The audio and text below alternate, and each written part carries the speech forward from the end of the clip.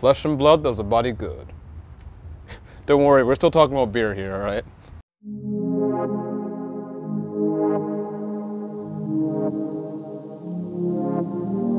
What's up guys, welcome to another episode of Beer Business Bureau. So today we're going to be doing a beer by Dogfish Head. It's a brewery based out in Milton, Delaware. And I know what you guys are thinking. Finally, he's doing something outside of California for once in his life. But, you know, it's not always about location, location, location.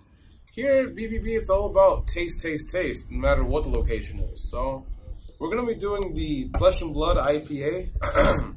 it's a blood orange and lemon infused IPA at 7.2% alcohol by volume. So, let's do it. Flesh and Blood IPA by Dogfish Head is what happens when you mix fresh citrus juice with an already vibrant, citrusy, and resinous India Pale Ale recipe. Rated at 7.5% alcohol by volume, and as the name implies, you get a hefty taste of blood orange flavor that's neither too sweet nor too bitter. If you're a fan of San Pellegrino, you might just like this. So while I tried to make a, a head out of this, pouring from a 12 ounce can to a 16 ounce glass, it's actually kind of difficult. And looking at the head I already have here, it's not, not a whole lot of streaking going on, and it's dissipating fast, but it's not very much. But who cares about that, right?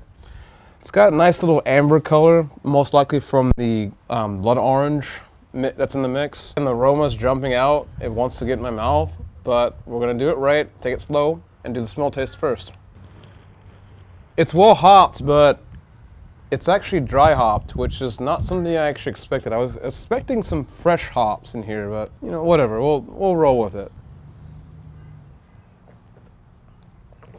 Yeah, it's definitely dry hop.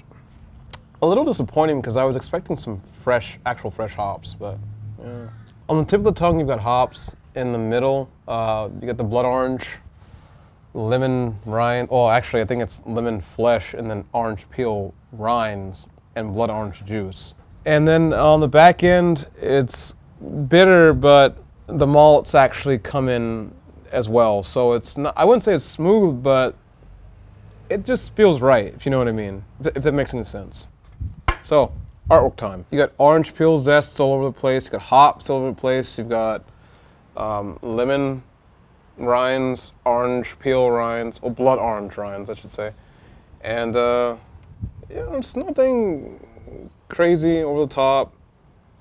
You know, nothing um, mind blowing. It's it's it's simple advertising. As you can see, it's kind of sunny outside, and this is ceramic, so uh, as you can imagine, it's actually warming my beer up very rapidly. Probably should start doing you know um, reviews with a coaster underneath my beer, but this is gonna be quick, I swear.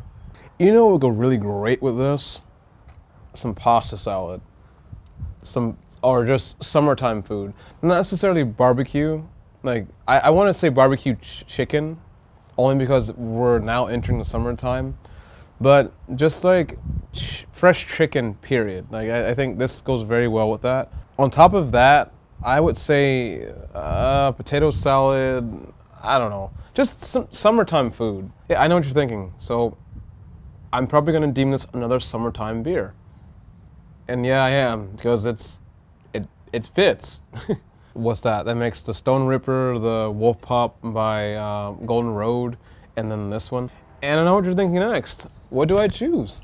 I say get all three of them. If you're gonna throw a pool party or some kind of barbecue or any kind of summertime party, just get all three. And at 7.2%, I mean, there's nothing left to be desired, all right? Like, no one's gonna come to your party if you have this tasty concoction and say, gosh, I wish I had a bigger buzz. Well, guys, if you like this review, make sure you push the like and subscribe button.